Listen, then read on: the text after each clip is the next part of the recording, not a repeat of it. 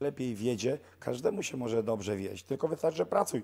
No ja tak mówię y, jednemu, drugiemu, trzeciemu, wstań o 5 rano, nie, nie tydzień, nie dwa, nie trzy, 10 lat tak wstawaj. Piąta rano do 23 pracuj. Organizm ludzki jest w stanie bardzo dużo wytrzymać. Mówimy o ciało, tylko żeby głowę nauczyć. Ciało jest w stanie wiele znieść, ale tylko głowę. Weź głowę tylko przystosuj do tego, że będziesz przez 10 lat wstawał o 5 rano i zasuwał, i zasuwał. Ktoś powie, a bo ty sobie tak gadasz. Nie.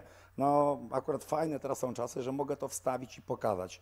Cofniemy się 5 lat wstecz na moje social media, na Facebooki, na coś i jest piąta rano i tam jest zapisane. Piąta rano, piąta rano, piąta rano. Jesień, wiosna, zima, minus 20, minus 25, pod minus 30, a piąta rana Mariusz idzie. Śnieg zasuwa, Mariusz idzie dalej. Deszcz pada, ja idę dalej. Wichura jest, ja idę dalej. Ta piąta rano. No to moje